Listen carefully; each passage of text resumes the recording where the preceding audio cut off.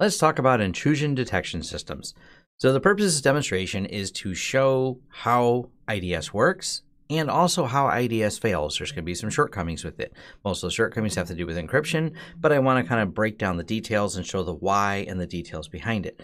A lot of people think IDS is kind of a great, incredible thing that should have saved them. And I said should have because I've been looking at different breaches that have occurred. I've talked to people who've gone through breaches, and it cut through the IDS system like butter. It just no problem going right by it.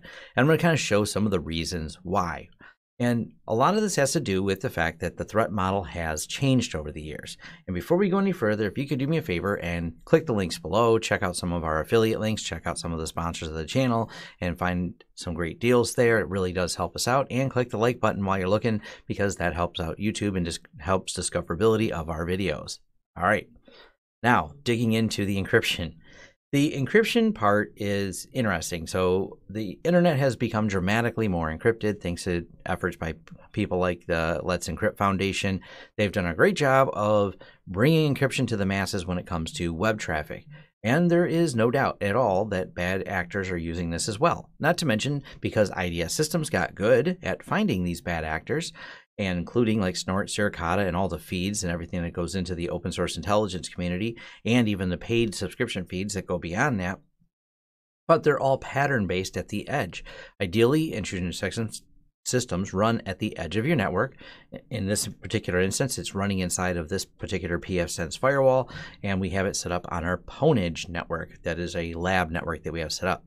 We have it set for maximum detection and alerts because what we want to do is get some alerts in here. And here we are currently with no alerts. So we're starting out on a clean slate. We're going to create some alerts and show you what the IDS system can see and what it can't see and why it's still not a bad thing to have one, but it's become much, much less effective against modern attack methods. So we're also going to show you the rules and what Suricata is actually looking for and how these patterns match. So this is a file identity rules just downloaded from the latest download of the rule sets from Snort. You can see what it's looking for here. We're looking for these type of matches. We're looking for a file identity that matches this and ideally that would flag the system going hey if this comes through we find these bits in the traffic as the it's reading the flow it digs into it and go, okay, matches this, drop it, stop it, make it not go through. And this was great. This is, you know, I've been working in tech for over 24 years and in the early days, this is how we identified things. We could Wireshark it. We could grab a, a, packet capture file. We could dig right into the traffic because, well, nothing was encrypted. 2019, dramatically different. Everything's encrypted now. Not everything, but many, many things. So any uh, bad actors not using encryption are one, probably amateur. And don't get me wrong, this is still great at stopping the amateurs. It is great at stopping a lot of this old stuff because just because it used to be effective doesn't mean someone's still not trying to use it, even though it's less effective, because there's somebody out there that will still be trying to load some old piece of malware. So that's still relevant in some aspects of it, but this is why you can't just rely on an intrusion detection system. So we can see all this different pattern matching. And there's, like I said, this file list is pretty big. There's a lot of things in there. But one of the things I want to point out right away is there's so much of this is all reliant on HTTP traffic. So not HTTPS. That's where the hangup comes in. So we're going over here and we're going to create a file. So we have the home slash Lawrence Systems www, and then I made a file called Are You Seeing This.txt. It contains the text Hello, Lawrence Systems YouTube watchers with a dude flipping a table. Really simple, and we're going to show how this can be seen with Suricata and then how to make it invisible to Suricata. And, you know, I didn't want to put any bad files up on my server or anything like that to go well in depth with a demo, but for the purposes of this, this will get the job done to show you how the system works. Now, over here, we have Parrot running, and this is running in with uh, X2Go, so it's uh, going to be able to get to it here, and this is on the Pwnage network, so this is how we can keep it all nice and separate. And we're just going to use curl, which is basically a command line uh, to pull HTTP data down. So we're at HTTP www lawrencesystem.com. Are you seeing this? Hello, Lawrence System YouTube Watcher Table Flip. And now we're going to go over here And we see it flagged. What did it flag?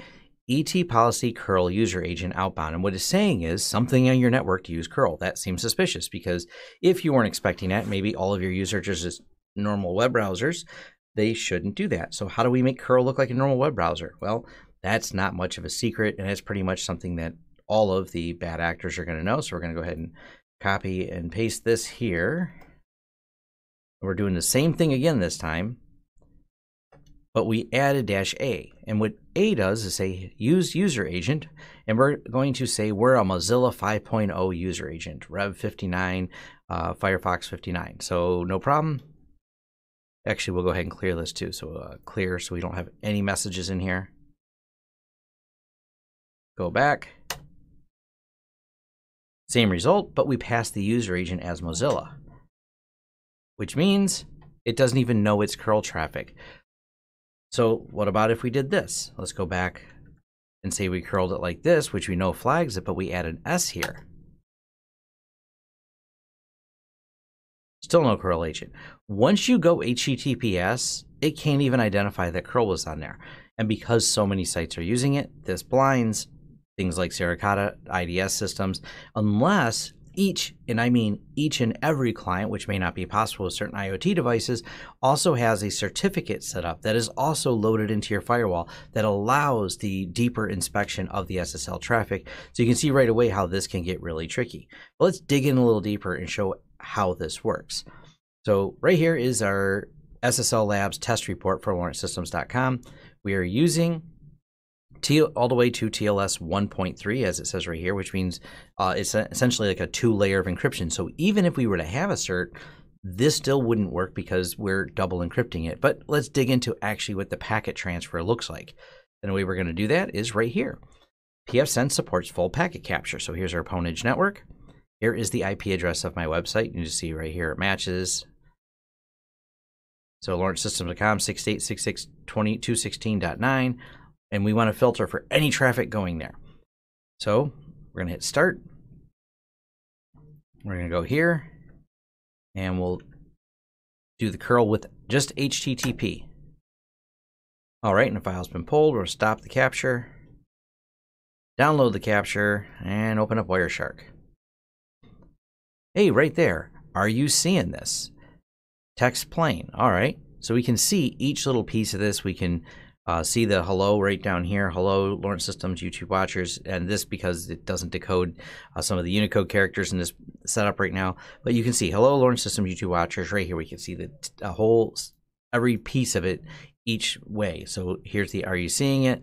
Um, I think yeah, user agent curl right there. That's how it's able to see that. So this is, you know, the full flow. We were able to look at these, and this is the type of pattern matching that's going on inside of Suricata or any other uh, IDS system to go, these are the patterns we're looking for. Can we get this? All right, we see everything going on, and we can pick out traffic that matches known uh, bad traffic and say, stop that from coming through. All right, let's do this same thing again. So we're going over here start the packet capture again. This time, we're just going to add the S, https lawrencesystems.com. Are you seeing this? Pulls the file again. Go over here, stop, download. All right, here we go. Well, this is not good. We can't see anything so far. Oh, we figured out they are going to lawrencesystems.com, so we know the domain. And that's pretty much where the data feed ends as far as what we can see. Right here, server, cipher, spec. This is where we start doing the TLS 1.3. There's a TLS 1.3 hello, cipher, the act that goes back and forth, application data, and we're blind. This is the challenge that all of these tools face all this data now is encrypted so we can go through and poke through it but without the keys and by the way if you dig into the T- tls 1.3 it goes further and adds a second key exchange inside there. So first you have the outer key exchange, as I would describe it, and then an inner key exchange to keep it even more encrypted. But we don't even know the user agent that was used. Like we just went blind. This is why Suricata isn't even flagging curl user agent usage because that all goes away when you start encrypting everything. And this is the challenge faced with the any type of intrusion detection system and this is one of the reasons that you really need defense in depth. You can only rely so much on the edge to protect you. You can have known lists as long as you always know those lists of you know bad actors websites and say oh, we're going to block these ip addresses. But that becomes very challenging when they host in common places like you know amazon services or they take over and this is one of the reasons that the common attack vector is this model. They take over an existing server or they uh, modify a WordPress site, for example, and then create a subdomain under it. So a known trusted site now becomes known and trusted and easy because no one knows that site's infected. It looks like normal traffic because the only thing they can go to is, hey, everyone goes to this popular website.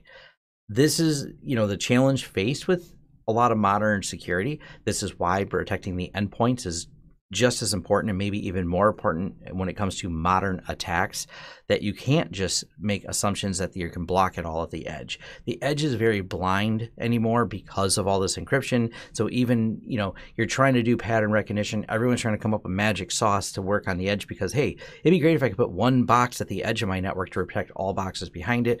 Uh, but that's old thinking. It just doesn't work that way anymore. And this is really why. And I want to do this video to explain that. But the other thing you can do, now this is where Suricata still has some importance, is if you have a server behind that you have ports open to.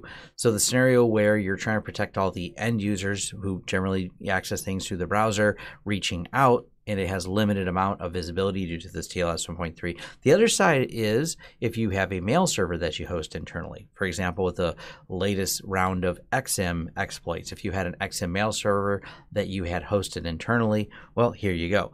You can have Suricata protecting and looking for patterns of people sending those attacks. So this is where intrusion detection systems can be very good, but that's if you're running an internal mail server.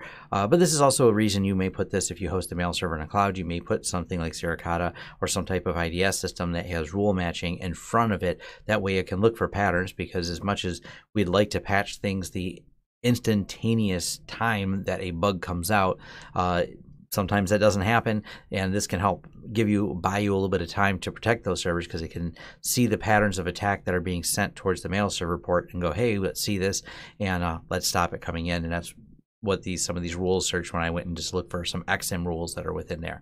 So hopefully this video helps you gain a little bit better understanding of when it works, when it doesn't, what it can see, what it can't see, depending on whether or not that traffic's encrypted. And everything's about defense in depth and putting as many layers as possible to mitigate risk. Thanks. And thank you for making it to the end of the video. If you like this video, please give it a thumbs up. If you'd like to see more content from the channel, hit the subscribe button and hit the bell icon if you like YouTube to notify you when new videos come out. If you'd like to hire us, head over to lawrencesystems.com, fill out our contact page, and let us know what we can help you with and what projects you'd like us to work together on.